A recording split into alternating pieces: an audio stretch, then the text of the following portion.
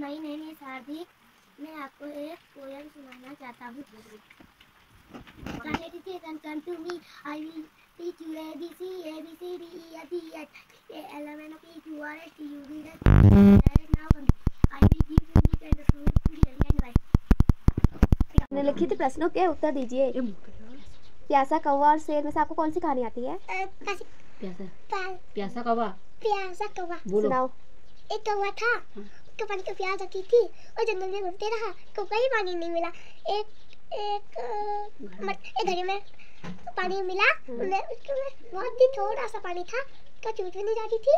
हम्म, और उन्हें छोटे छोटे छोटे छोटे छोटे कंकड़ डाले फिर ऊपर ऊपर पानी आया फिर पी लिया फिर खुश हो गया फिर उड़ गया। याद की याद की हुई कोई भी एक एक हिंदी और अंग्रेज़ी में कविता सुनाई दीजिए।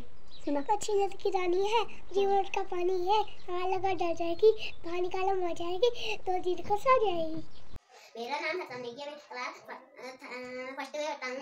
मैं आपको एक कविता कहानी कहानी सुनाऊँ कहानी सुनाना चाहता हूँ। एक कौवा प्यासा था घड़ी में थोड़ा पानी था। कौ कौवा लाया कौवे ने डाला कंकर कौ- कौवा क- पानी आया होगा। कौवे ने पिया पानी खत्म हुई कहानी।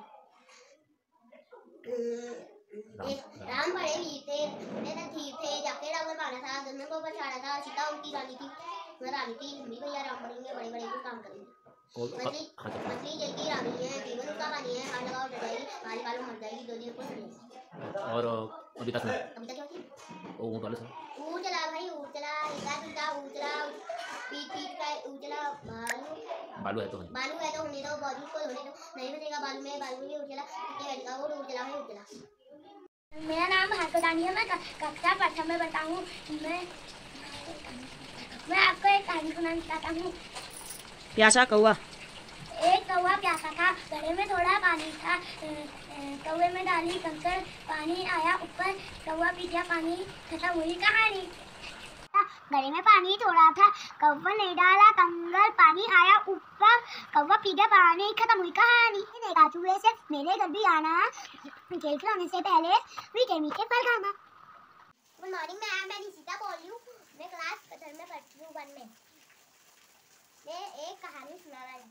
प्यासा कौवा गर्मियों के दिन से एक कौवा भटक रहा था और नदी तालाब सब सूख चुके थे। वो वो आगे वो भटकता रहा। उसको एक कुआ दिखा कुएँ में पानी नहीं था वो गया तो कुएँ पानी नहीं था तो आगे को गया भटकते भटकते एक घर के पास एक मटका था वो उसमें थोड़ा सा पानी था बस तो आगे को गया पानी थोड़ा सा तो उसने अ, कंकर डाले आगे को पानी ऊपर को पानी आता रहा उसने पिया फिर प्याज बुझाई इस कहानी से। इस खाने से ऐसी सीखने से हमको अपनी मेहनत से काम करना चाहिए गुड मॉर्निंग मैम मैं निशिता बोल